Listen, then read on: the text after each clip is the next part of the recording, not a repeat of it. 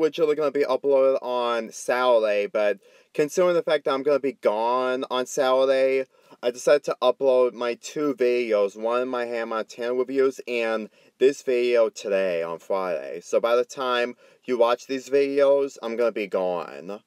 Anyway, I'm going to be reacting to everything wrong with Sunset's Backstage Pass from Luminous, who pretty much made the video, just like me, ahead of time, as if it wasn't obvious by that. And considering the fact that I did everything wrong with his did a reaction of his everything wrong spring breakdown, I'm gonna be less, you know, less mad with this since I'm actually this is literally one of the only specials I can tolerate the most. The only thing I can actually hope is that of what's going to happen with season three. If there is going to be a season three, there has to be some kind of improvements. Now, I really hope that, considering the fact that this is almost a week old, well, a week old by this point, I really think that his a view on the special is just basically what you're going to expect, and the fact that we're going to see what Tony Kelto's like, the, the dazzlings and stuff, and the information that if you probably didn't see the special itself, you might understand. Like I said, I still have the title of this video spoilers, just in case. Anyway, let's go watch the video. Yeah, we hey know guys, that. Reaches out to links. We'll be giving out two of our new shirts. All you gotta do is No offense, but I'm not a fan. Turn on notifications.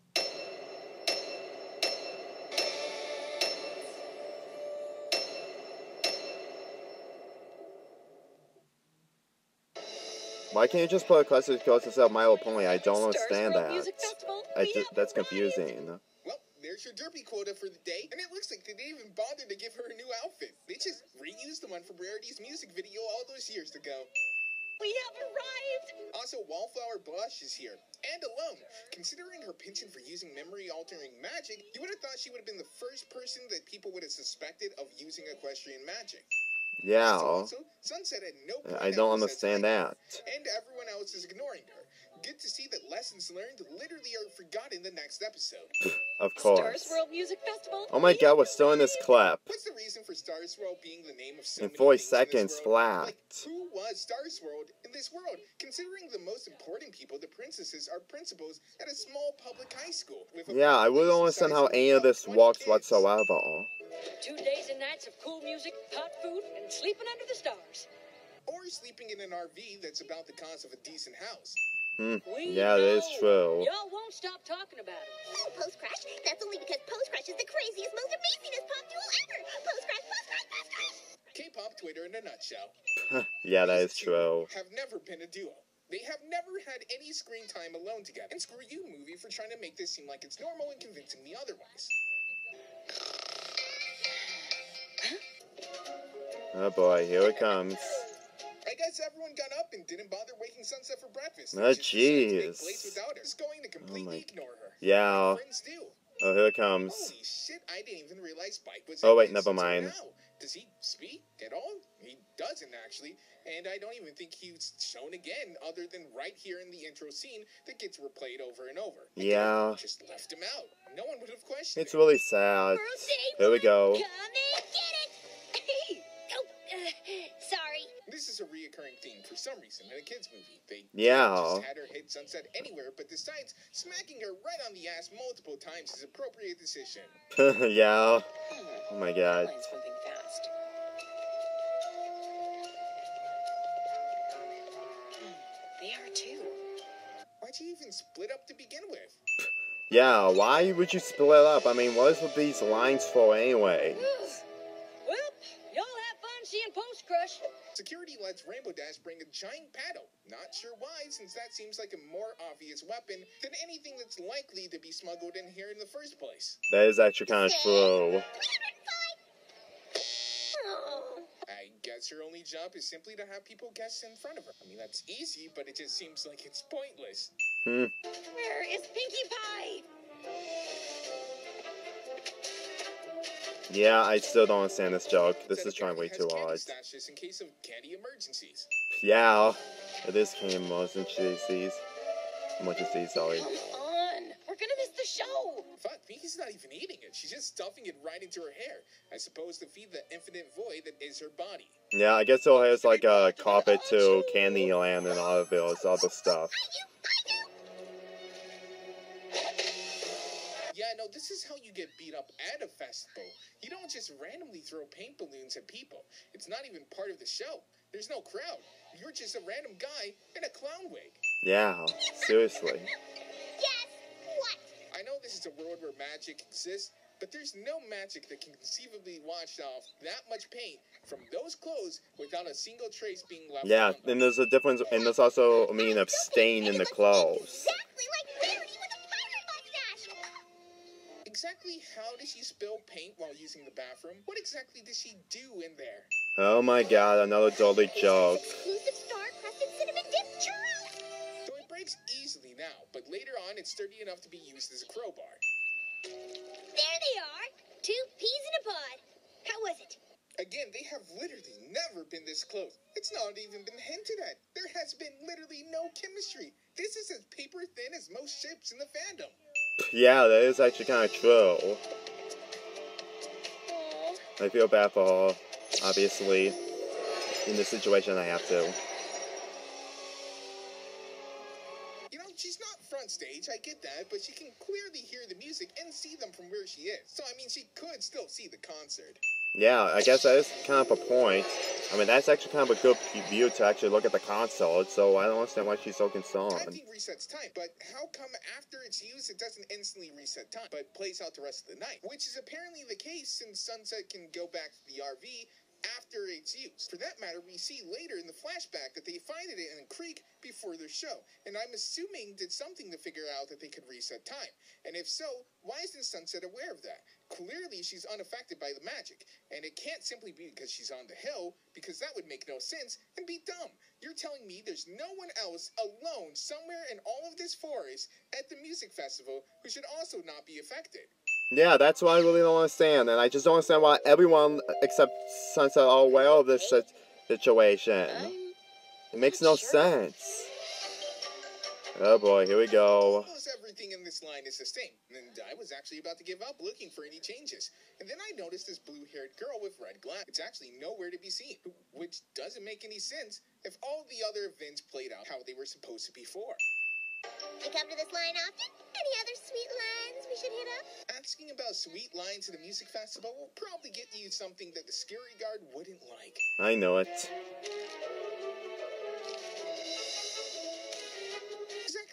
Much candy does she have for this trap? I have no idea, like multiple candies.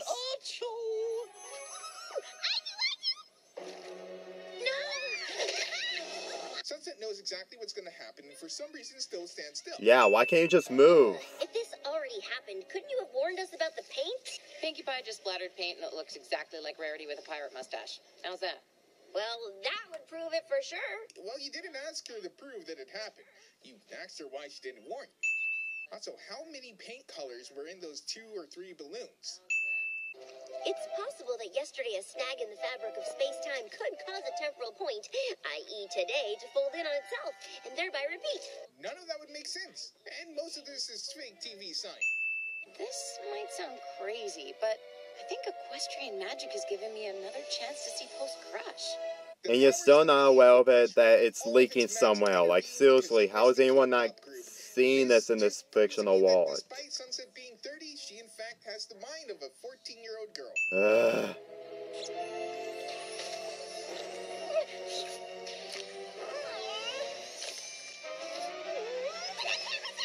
Pinkie's resolve for her friends is instantly removed at the first sight of food. Okay, this churros. Pinkie, stop! And somehow, Pinkie in a food frenzy was slower than Sunset Shimmer.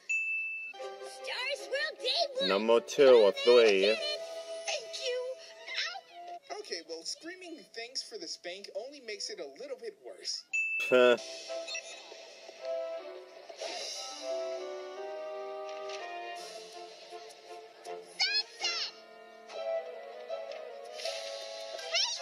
Exactly how did all six of them get through security that quick? Heck, how did she?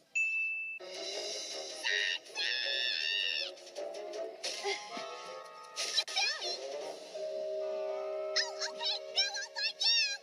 Also, she didn't really need to ditch her. She simply needed to make sure that when she crashes into the churros, that she's not around her in any way that can be blamed on her.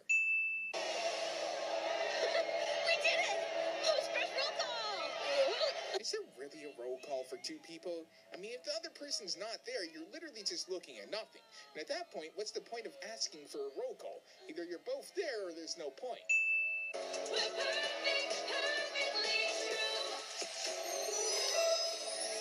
What a perfect day! They played one song before throwing their pig.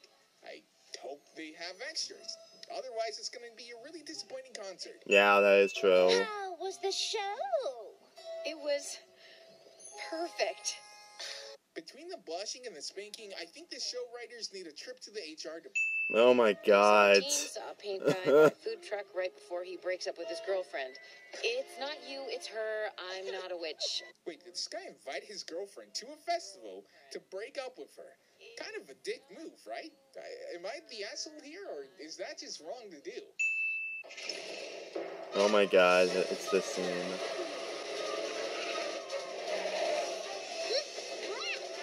Stole the RV. Didn't even bother to explain the situation to anyone, despite having an entire day to do so. So, how'd I spend 17 days with my best friend Pinkie Pie without asking for help until now? Uh, Still think this is only about post-crush? Well, to be fair, it has nothing to do with you ditching Pinkie. But even then, she's not doing it for a bad reason. She's completely justifying doing so. Pinkie has displayed a complete, total disregard for Sunset's feelings all throughout this entire adventure. I don't know how it found its way into your world. Because you never go outside and look at the portal. Seriously, I think this is one of the reasons why Twilight hasn't been in this world for a long time. Some pony is using the time twirler to Some person, not some apparently pony. They wouldn't! Wait, what am I talking about? Of course they would! who are you talking about? How would it be possible for her to relive these events for weeks without her seeing the dazzling? we just want an autograph. So, is there only one security guard for all of this? Yeah, I actually feel bad for his job of going everywhere. What's to stop people from just literally circling around the forest and coming through the back? Ugh, if she blows this thing, I'll have to start all over tomorrow. Was it an orange cat? Tuxedo! Ask me her name! Say what happened! Sunset allows his questioning and doesn't bother to stop it at all. Oh my god, are you kidding that was me? our best show yet! The loop is really working. Of course it's working. It was my idea. Ah, yes, the ambiguous music terminology is oddly convenient considering that this song was already performed enough for random people to be singing it and to have it on their phones. I'm sure they already knew that people like this vocal loop, but they just had to bring it up right now. Wait, did one of you remember to take the bread out of the toaster? What? Who puts bread in the toaster and just leaves? Yeah. It takes like two minutes to toast. Not only that, the likelihood of it starting a fire is next to nothing. Hmm. Oh, where is it?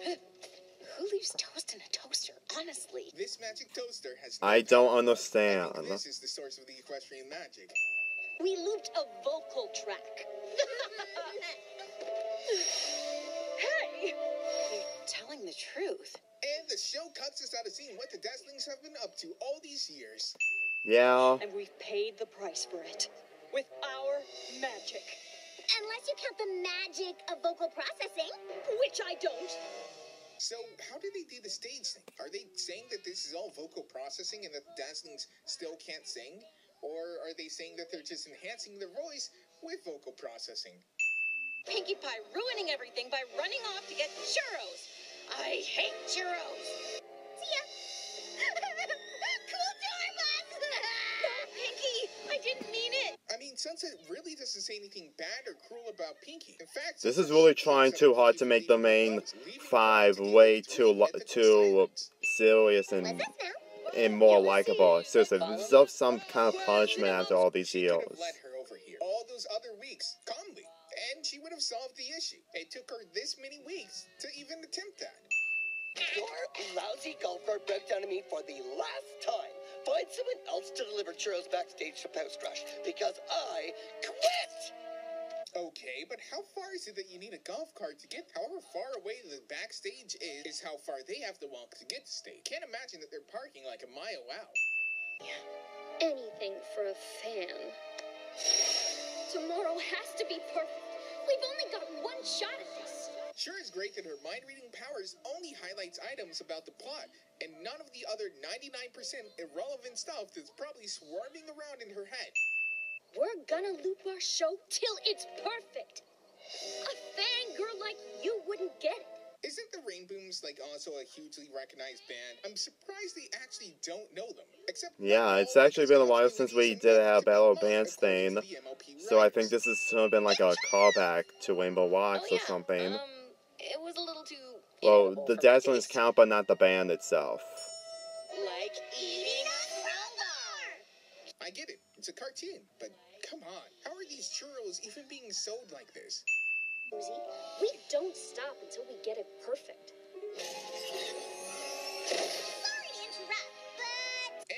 She could have totally just used her powers to blow up that door before instead of using a cartoon steel-like churro.